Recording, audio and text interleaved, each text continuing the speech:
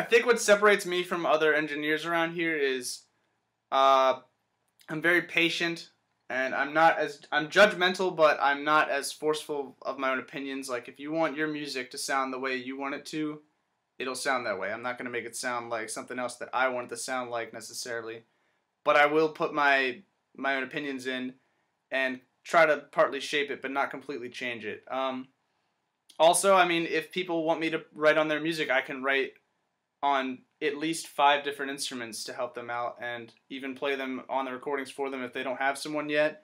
Um, people have brought me acoustic demos that we've turned into full band songs that sound pretty good for uh, for just a little home studio in the basement actually. Um, and my prices are actually really cheap because I just want to get as much experience as I can. It's not about the money yet.